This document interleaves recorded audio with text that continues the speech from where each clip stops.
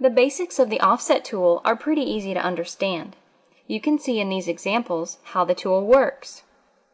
Click on any flat surface to offset its edges in or out.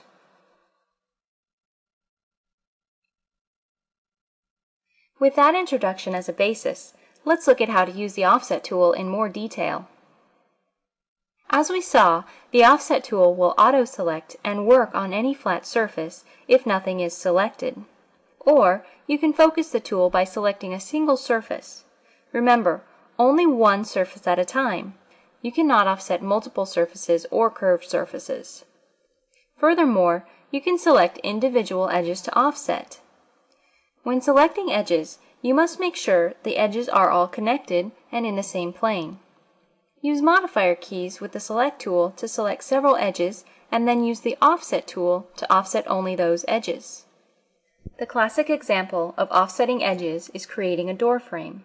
You can see if we offset the whole door surface, it creates extra geometry below the door we'd need to clean up.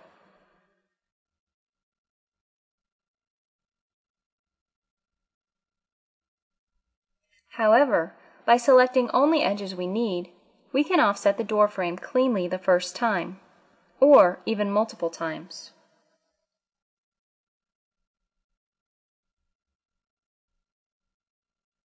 As with other tools, if you need to be accurate, simply start the offset, type in the exact value you need, and press the Enter key to finish. Also remember that inferring works great when creating multiple offsets.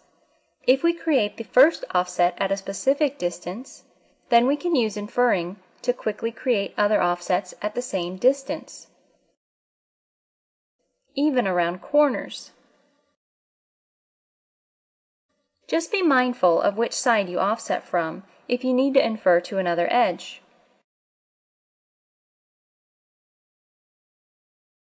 Offsetting from this edge makes inferring easy. However, if we offset from this edge, we can't infer to the previous edges.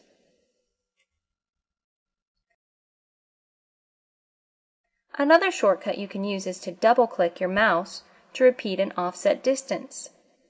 Create one offset, then double-click on the other surfaces to offset by the same amount.